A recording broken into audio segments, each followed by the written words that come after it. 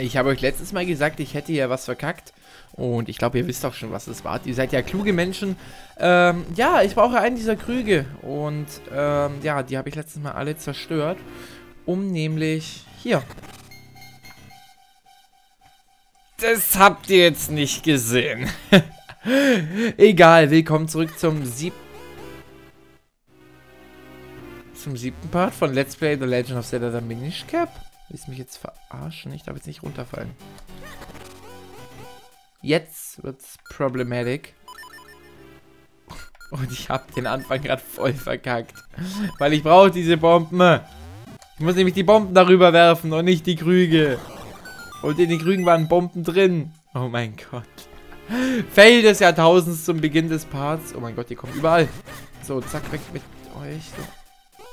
Zack, gib mir das Herz. Kann ich immer geben. Ah! Jetzt hat er mich richtig hart in die Mangel genommen. Mehr sage ich dazu nicht. Wer jetzt an irgendwas anderes gedacht hat, der ist ein kleiner versauter Bursche. so, äh, wir sind oben. Das ist schön. Und, ähm, hier ist so ein komisches Viech. Mehr ist hier nicht. Es scheint hier wohl nur so eine Art Verbindung zu sein. Okay. Ah. Gecheckt. Also wir brauchen auf jeden Fall wieder den, den Stein im Loch. Um da dann sozusagen weiterzukommen. Und natürlich habe ich auch heute ein, ein kleines Thema dabei, falls der Part eben sozusagen nicht so interessant wird. Und zwar möchte ich euch heute, möchte ich euch heute, ja doch, es passt sogar zum Deutschen, möchte ich euch heute was über meine, ja, ich habe es im Vlog Transformationen genannt, ähm, erklären oder erzählen. Und zwar, was genau mache ich da jetzt eigentlich? Warum, warum mache ich das? Manche sagen mir immer, hey, du, du brauchst es doch gar nicht und du siehst, es passt doch schon so alles, aber ich muss euch ganz ehrlich sagen, ich habe nicht groß Übergewicht, aber ich habe ein bisschen Übergewicht. Und darunter leide ich in gewisser Weise. Ähm, weil, uh, das sieht ja mal interessant aus. Ist das der Dungeon? Weil ich bin momentan der Jüngste in meiner Mannschaft. Ähm, also ich bin Mannschaftsjüngster im Handball. Und halt zudem noch, dass ich Mannschaftsjüngster bin, was halt nicht immer das Geilste ist, ähm, bin ich sozusagen noch, ja ich sag mal, der, nicht gerade der Fitteste. Also ich bin der Einzige der Mann in der Mannschaft, der, der ein bisschen Übergewicht hat. Und es ist halt was, was mich persönlich sehr nervt. Und, uh, Meltas Mine. Und deswegen möchte ich da eben dagegen vorgehen und deswegen mache ich eben auch das, was ich gerade tue. Eben abnehmen und viel trainieren. Eisenerz, ich gab nach dir. Eisenerz, dich finde ich hier. Er hat hier auf hier gereimt. Eisenerz, ich grab ganz flott. Eisenerz, ich gehe nicht fort. Das ergibt schon mehr Sinn, mein Freund. So, wer bist du? Dies ist die Mine von Melta und seinen sieben Schülern. Bist du hier, um dein Schwert reparieren zu lassen? Unser Chef ist ganz unten. Ah, und das sieht mir nach dem Weg nach ganz unten aus. Deswegen gehe ich erstmal hier. Kann ich hier. Nein, ich kann nicht tauschen. Deswegen gehe ich erstmal hier rein und. Hier ist nichts. Okay. Hier ist nur der, der Schlafraum. Und da ist auch noch ein Raum. Hier ist die Küche. Okay. Haben die Räume später noch eine Bedeutung? Du, du, du. Eisenerz. Ach, Eisenerz. Das ist es. Da ist es. Das herrliche Eisenerz. Die haben ja alle schon hier miese Skills am Start, würde ich jetzt ja mal sagen. Aber irgendwie überzeugt mich das nicht so ganz. Wenn du hier hinausgehst, gelangst du zu einer Mine, die von Menschen geschaffen wurde. Aber ohne Erlaubnis vom Chef kann ich dich nicht durchlassen. Also, Melta, der, der, der Chef hier, scheint wohl ordentlich Einfluss zu haben. Oh, der sieht auch ziemlich bosshaft aus. Grüne Kleidung, komische Mütze. Du musst Hübi sein. Hab's vom Ältesten im Wald gehört. Ich heiße Melta und bin hier der Chef. Es gilt, das heilige Schwert zu schmieden, um die Prinzessin von dem Fluch zu befreien, nicht wahr? Das Schwert der Minisch kann die Kraft der Elemente aufnehmen. Gib mir das zerbrochene Schwert der Minisch. Ich helfe der Prinzessin gern. Ich werde das Schwert erneuern, damit es zum heiligen Schwert werden kann. Es wird eine Weile dauern, bis es fertig ist. Geh inzwischen das Element suchen, das sich hier in der Nähe befindet. Dort in der Mine. Sie wurde vor langer Zeit von den Menschen geschaffen. Gut, dann wollen wir mal mit der Arbeit anfangen. Gut, Hübi. Die schaffen das auch ohne uns. Wir suchen inzwischen nach dem Element. Wow. Also, sie schmieden jetzt das, das Erz. Äh, das Erz, das Schwert. Was? Du willst eine Mine? Na gut. Wenn du die Erlaubnis zum Chef hast, bitteschön. Aber pass auf dich auf. Danke, Kollege. Also, ich habe nämlich noch was Wichtiges vor. Ah, da, da komme ich nicht hin. Deswegen werde ich mich erstmal größer machen. Ich hoffe, dass wir in den Dungeon jetzt vielleicht mal was hier zu diesen Sachen finden, ne? Zu diesen Träger der heiligen Macht. Äh, weil hier dauert, ich dauert, ich habe, ich weiß, bläh, ich kann mich nicht artikulieren. Ich kann mir vorstellen, dass es sich hier um Teleporter handelt, weil die so über die Map verteilt sind und dieses Luft und vielleicht kann man hier irgendwie fliegen, aber wie? Keine Ahnung. Oh, hier drin ist es noch heißer. Lass uns schnell das Element finden und diesen höllischen Ort verlassen. Los, Kind. Zacki, zack. Okay. Lass mal hier die Herzen nehmen. Die kann ich gut gebrauchen. So, wir haben direkt mal zwei Wege. Ich nehme an, wir haben noch keine Karte. Es gibt... Wow! Drei Untergeschosse und Erdgeschoss. Naja, gehen wir erstmal nach rechts und schauen, was hier ist. Ähm, aua. Oh, ah, ich, ich check schon. Ich check schon. Moment. Moment, Moment, Moment, Moment. Das machen wir ganz einfach. Bumm. So, dich noch. Weg. Immer aufpassen. So, sehr gut. Hier gibt es was zum Sprengen. Das Ganze sieht wirklich schön aus, muss man sagen. Also, man hat hier wirklich das Gefühl, in der Mine zu sein. Mit diesen ganzen Holzstreben an der Seite und diesen vielen kleinen Räumen. Das sieht schon ziemlich schnieke aus. Oh, ich, ich sag schon wieder schnieke. Ziemlich cool aus. Gegen den Stachelpanzernutzer steht nichts. Du musst ihn umdrehen. Ah, das dachte ich mir schon.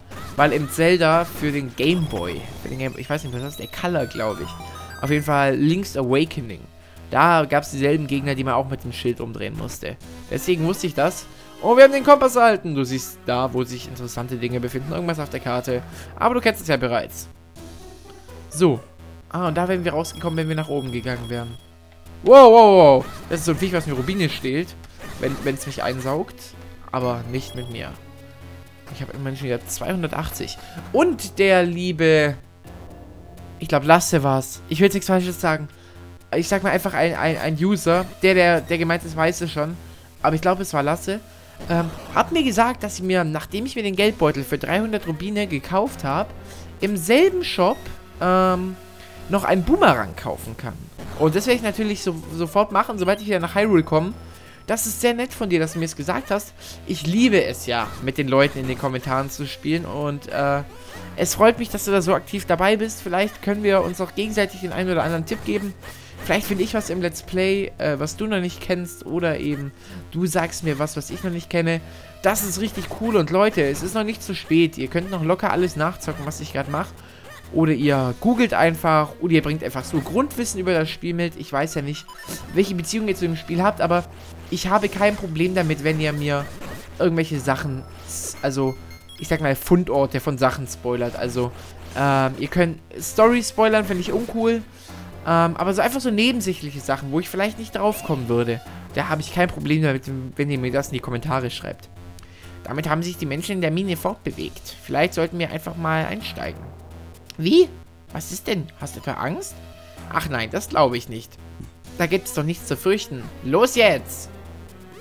Was? Link hat Angst. Das glaube ich nicht. Boah. Das eskaliert voll. Was war das? Das... Was guckst du so zufrieden? Menschenfahrzeuge sind einfach nichts für mich. Da laufe ich lieber selbst. Ja, du und laufen. Wissen wir, wie das läuft. Wie es läuft.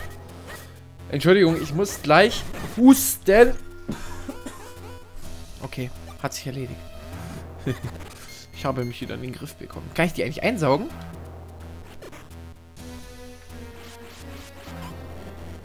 Ja, voll geil. Da kann ich mir selber ein Geschütz bauen. Bam. Oh, da brauche ich sogar eine Bombe. Aber ich, ich muss in die andere Richtung einsaugen. Ach, verdammt. Dann nehme ich halt eine von meinen 30 Bomben, die ich mir im letzten Part erweitert habe. Also die Kapazität. Das war auch cool, dass wir die Feder gefunden haben. Das hat mich sehr gefreut. Ich liebe es, solche wichtigen Geheimnisse selber zu finden. Weil das ist einfach sehr cool. Welche, die dir im Spiel wirklich was bringen. Jetzt nicht nur so Rubine oder so, sondern halt, wie gesagt, jetzt zum Bombenkapazität oder so. Das finde ich so cool, sowas selber zu finden, ne? So. Du sagst mich nicht mehr ein, Freundchen. Dich hau ich jetzt einfach kurz hier gegen die Wand.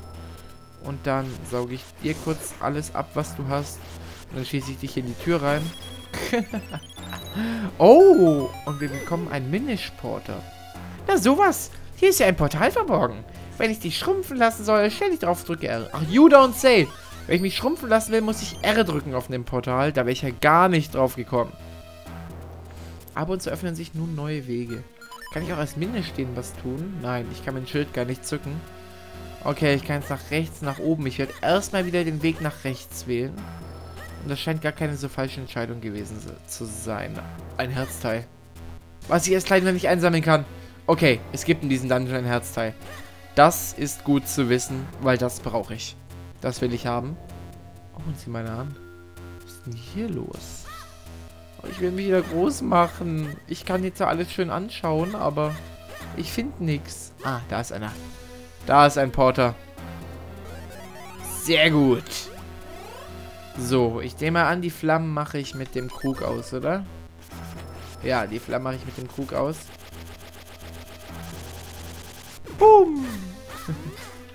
Aua. Sagt, verzieht euch.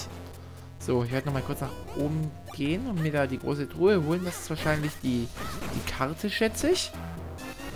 Woo! Dungeon-Karte erhalten. Na dann schauen wir sie uns doch direkt mal an. Womit haben wir es hier zu tun? Wow. Der ist gar nicht so klein. Aber oben gibt es nicht viel. Oben ist wirklich nur so ein kleiner Raum. Hier im ersten und zweiten Geschoss. Da spielt sich alles ab. Und da drüben ist noch eine Truhe, sehe ich. Ah, die da. Genau. Okay, wow, die brechen. Da muss ich schnell drüber. Und ein blaues Glücksfragment. Sehr gut. Oha, das sieht heiß aus. Wenn wir da reinfallen, ist es vorbei. Ach nein, you don't say, du intelligenter Hut. Oh, ich glaube, da, da muss ich, da muss ich intelligent vorgehen. So, die unteren auch weg, dass ich gleich weiter kann. Und hier rüber. Zack, zack, zack, zack. Sehr gut gelöst. Bisher kommen wir nicht schlecht durch den Dungeon. What? Die bricht doch ein. Oh, aber es reicht. Oh, was ist denn das denn? Kann ich die hochheben? Ja, die kann ich hochheben. Kann ich die da reinwerfen? Ah, ich kann die bestimmt da, da reinschieben, oder? Nein, kann ich nicht. Ah, so läuft das Ganze. Okay. Bringt mir das irgendwas? Ich werde es einfach mal machen. Hier mit Ah, nee, ist schon automatisch reingefallen. Oh je. So, hier. Einfach zack reinhüpfen und wieder raus. Sehr gut. Oh, ich bin Retard.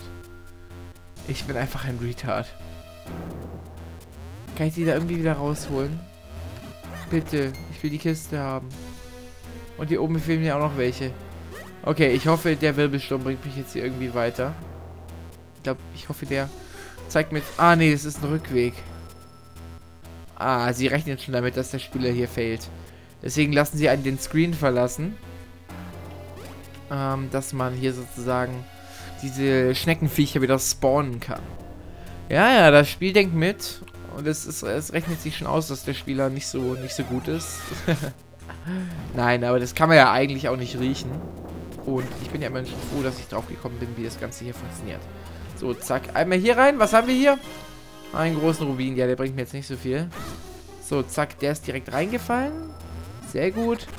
Die kurz weg. Den kurz boxen. Hochheben. Und dann hier oben reinpacken. Was auch immer das bringt. Hier geht's nicht lang. Ähm, was kann ich denn hier schieben? Das auch nicht. Das auch nicht. Ah, da komme ich von woanders, glaube ich. Moment mal. Ich habe eine Idee, wie es hier weitergeht. Das war vorhin gar kein Rückweg. Ich, ich habe natürlich trotzdem genommen, weil ich die Kiste haben wollte. Aber ich glaube, der Wind reicht locker, um hier rüber zu fliegen, oder? Jawohl, es reicht. Und wir bekommen... Ja, wir kommen dann nicht so ganz weiter. Wie komme ich denn nach da oben? Ich glaube, da werden wir noch früh genug rausfinden, was es damit auf sich hat. Oh, sehr schön. Es ist nicht mehr so, so neblig. Aber habe ich jetzt irgendwie groß was erreicht? Nicht so ganz, oder? Um genau zu sein, habe ich doch nichts, oder? Ich muss nochmal zurück. Ich muss auf jeden Fall nochmal zurück, weil mir... Ich bin doch einmal, als ich... Irgendwo bin ich mal nach rechts gegangen, wo ich auch nach oben hätte gehen können, oder? Irre ich mich da? Nein, tue ich nicht. Irgendwo bin ich mal nach rechts gegangen, wo ich auch nach oben hätte gehen können. Und das möchte ich jetzt tun, weil das ist ein Weg, den ich noch nicht gegangen bin. Also, ja, genau hier. Hier kann man auch nach oben gehen. Und das will ich mir jetzt anschauen. So viel dazu. Oh, verdammt. Aber da gab es keinen Schlüssel, oder? Oder habe ich es verkackt, irgendwie an die Truhe hinzukommen? Oder hätte ich an die... Hätte ich an die Truhe schon kommen können? Habe ich etwa versagt? Na, das finden wir doch gleich mal raus. So, jetzt sind wir wieder in diesem heißen Raum. Genau. So, äh... aber da drüben muss ich runterhüpfen. Okay. Man kann als, als, als Minischlink nicht Treppen laufen. Aber man kann aus riesigen Höhen runterspringen, die als kleiner Link nochmal viel größer sind. Okay, seems legit. Und ich hätte diese Kiste einfach mitnehmen sollen vorher. Oh, ist so ärgerlich. So, sehr schön. Jetzt haben wir alle vier Krüge auf einmal bekommen. Und jetzt sollte es weitergehen. Weil ich will wissen, wie ich hier weiterkomme. Ich kann zwar da hochfliegen, aber... Ich glaube, ich muss auch da hoch, weil es da zur Kiste geht, oder? Bitte, lass es so sein, weil ansonsten bin ich ratlos. Ähm, so hier. Zack. Zack, zack. Schauen wir uns das Ganze nochmal an. Was ist... Ah, ich habe ja... Boah. Ja, Hashtag Retard ist wieder... Ich bin wieder nicht an die Kiste ran. Okay. Lassen wir das. Schauen wir uns lieber an, wie wir weiterkommen. Hier kann ich nach drüben. Da bin ich jetzt in einem Raum, der nicht verzeichnet ist, oder? Ja, genau. Doch, der ist verzeichnet. Ich kann mich hier auch klein machen. Aber ich gehe jetzt einfach mal unten lang. Sofern das geht. Ja, das geht. Das sieht man doch gerne. Aber ich glaube, ich werde jetzt an den Krügen scheitern, weil es sind da nicht drei, drei... Ja, da sind drei Krüge. Oh Mann, Leute, ich bin gerade echt ein bisschen aufgeschmissen. Irgendwas habe ich übersehen. Also entweder komme ich an die Truhe hin und das habe ich vercheckt. Äh, oder... Ja, nicht nix oder. Ich weiß es nicht. Aua. Oder? Doch, ich muss an die Truhe da oben hinkommen. Eine andere Möglichkeit weiß ich gerade nicht. Bomben kann ich als, als kleiner Link auch nicht legen, oder? Oder geht das? Okay, selbst wenn, ich könnte nicht über die Schienen. Ne, Bomben kann ich auch nicht legen. Ich habe es gerade getestet. Was habe ich übersehen? Was gibt es in diesem Raum, was für mich von Interesse sein könnte. Und was habe ich übersehen? Das Einzige, was wirklich in meinem Kopf gerade drin ist, ist, wie, wie komme ich an die Kiste da oben? Weil wie gesagt, also, was anderes weiß ich nicht. Das Ganze ist ja momentan noch sehr linear alles aufgebaut. Und alles führt einfach zu dieser Kiste. Und ja, diese Kiste will ich haben. Dö, dö, dö, dö, dö, dö, dö zack. Hier vorbei. Da einmal draufschlagen. Ähm, dann rein da, zurück, die kurz weg, die kurz weg. So, dann den Wind nehmen. Darüber segeln und dann irgendwie versuchen, an diese Kiste zu kommen. Weil ich denke mal, da wird ein kleiner Schlüssel drin sein und dann geht es hier auch weiter. Einen anderen Weg weiß ich nicht. Falls es noch einen anderen Weg gibt, bin ich halt ein bisschen zu retarded. So. Ah. Ah. Ah, ich kann es auch ziehen. Sehr gut. Okay, kapiert. Ich kann das Ganze schieben. Das kann ich jetzt da vorne ins Loch schieben und dann komme ich an die Kiste. Ah, oh mein Gott. Ich dachte, das würde auf einem Podest stehen, was man nicht verschieben kann. Und da ist tatsächlich der kleine Schlüssel. Sehr schön. Und mit diesem Schlüssel können wir jetzt zurückfahren und dort die Kiste öffnen. Also, dann haben wir das Ganze doch noch geschafft. Ich habe jetzt ein bisschen gefailt. Ähm, macht nichts. Also, beim nächsten Mal werden wir dann diese Tür öffnen. Wenn ihr Bock drauf habt, lasst mir einen Daumen nach oben da. Ansonsten bis zum nächsten Mal. Haut rein.